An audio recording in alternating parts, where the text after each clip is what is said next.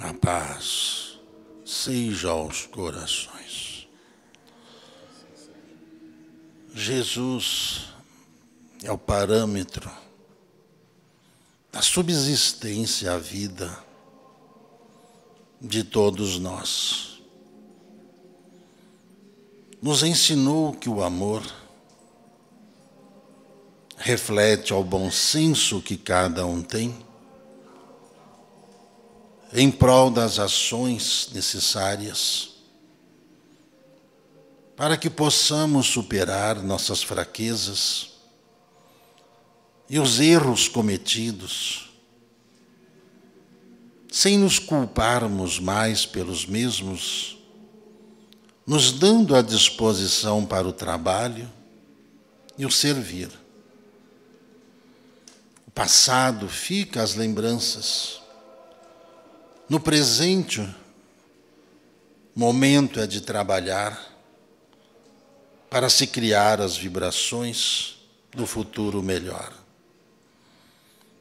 Enquanto lamentarmos o passado, deixamos de aproveitar o presente, deixamos de acreditar ao futuro.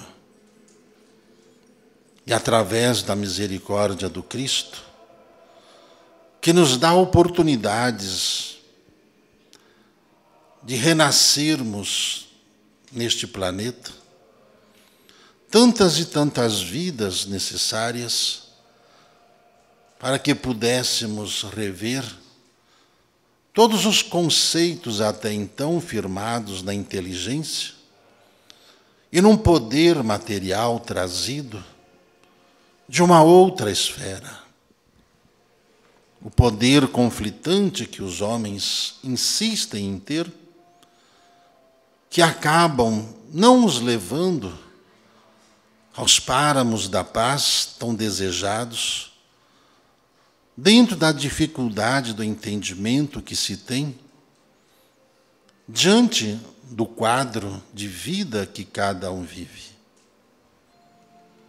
Jesus vem pacientemente ensinando a cada um a buscar a verdade, buscar a riqueza eterna, buscar o desenvolvimento da inteligência, com o equilíbrio do coração, para que cada um possa firmar-se e equilibrar a sua vida, não dando oportunidades às fraquezas geradas pela falência dos sentimentos, que permitem que hajam doenças ainda na Terra. Todas essas doenças são geradas pela fragilidade humana de se amar, de se entender, de se perdoar. Ainda não consegue entender que o amor é a razão da sua vida na terra. Mesmo eles buscando o amor entre casais, com os filhos, amigos, ainda prisioneiro das situações de acúmulo terrestre, não cultivam em sua alma a riqueza necessária para a eternidade. Jesus, mais uma vez, vem nos ensinando como utilizar-se dos bens que na terra lhes são dispostos, a fim de que possam superar todas as dificuldades de amar. O tempo é o grande professor que nos ajuda a entender os nossos semelhantes estão ligados a nós, a razão pela qual convivemos em sociedade, em todas as regiões planetárias, visíveis e invisíveis. O ser humano não busca solidão. Esta solidão lhe causa medo, lhe causa pânico, lhe causa insegurança, buscando ele essa convivência, não podem apenas criar castas seletivas, achando que com isso terão mais harmonia ou mais felicidade, trazendo em todo o processo reencarnatório, em cada um uma oportunidade de se melhorar. É a razão pela qual a comunicação entre os mundos nunca cessou e não cessará, mesmo com as dificuldades vindouras entre os planos físicos e os espirituais.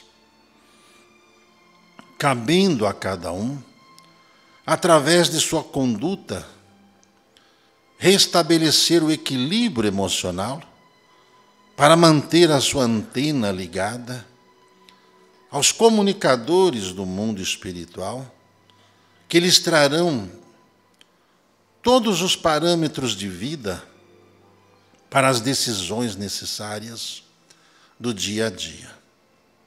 Para tal, sabendo das necessidades que o planeta enfrenta e vendo que há grupos na Terra desenvolvendo essas afinidades fraternais, sendo despertado pelas ondas vibracionais de amor, levando a confiança e uma reestabilização de união entre os seres humanos. Para isso, o mundo espiritual se reúne para ajudar ainda mais a vida daqueles que estão enfrentando as suas provações. Ninguém está só. Nenhuma família está só. Nenhum ser humano está abandonado. Na misericórdia infinita, as ondas vibracionais chegam aos ouvidos desses irmãos e funcionam estimulando esses seres na fonte de vida, no cérebro, no coração, na vontade. Na vontade de ouvir, na vontade maior de refletir, e com isso prestar atenção às orientações que do coração do Cristo parte para com a humanidade, que está vivendo essa transição íntima, científica, material, mental. A providência divina agindo em consórcio com as preces dirigidas, as súplicas dos irmãos, vem desenvolvendo essas loções que são entregues aos irmãos através dessas ondas vibracionais que emanam esses fluidos, que agirão em todos os ambientes terrestres, envolvendo todos no planeta que assimilaram esta vibração, conectados por diversas antenas espalhadas na Terra, médiums sensitivos, sacerdotes, e todos os que emanam palavras de ânimo e fé para aqueles necessitados nem sempre do amparo material, mas o principal, o amor, o sentimento necessário para estabelecer o equilíbrio entre a vida e as ações que cada um pratica. Deus está em toda parte, que Deus está dentro de cada um. Deus está no planeta nas formas pelo qual a vida se estabelece. Em cada ser, em cada ser vivente. Você enxerga Deus pelo olhar que você tem, diante da vida em que você professa.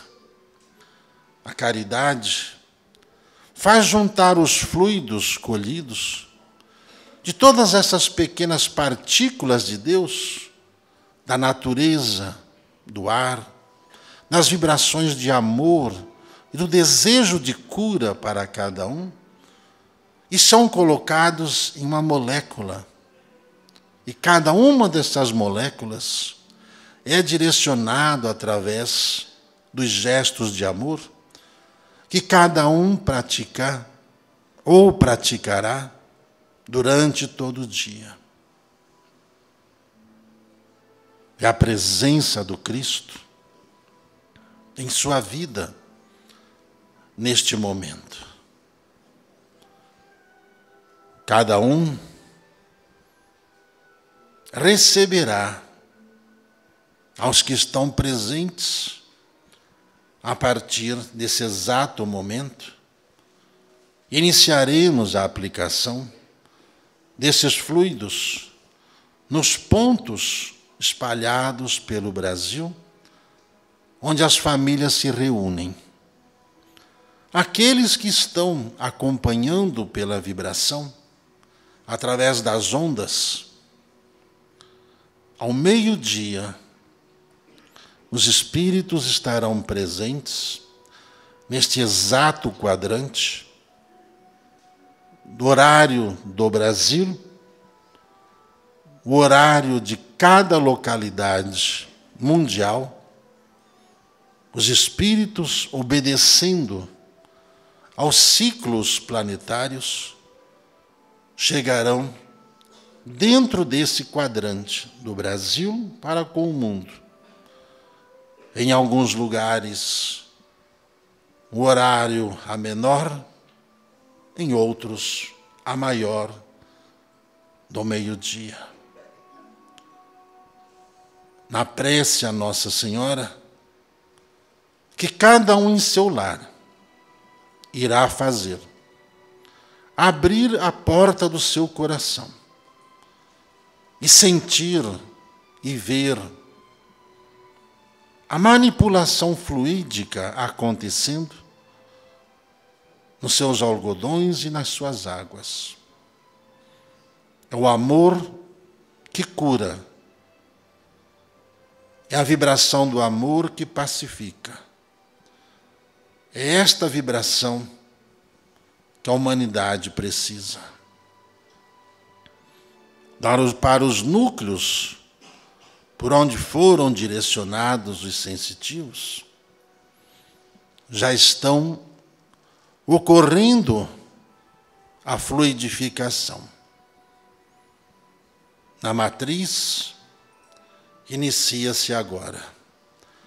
Aos que estão acompanhando pelas ondas vibracionais, ao meio-dia, é o tempo necessário para o deslocamento de todos os irmãos, de todos os continentes, países, arquipélagos, ilhas espalhados pelo planeta. É hora de pacificar a humanidade. Gratíssimo.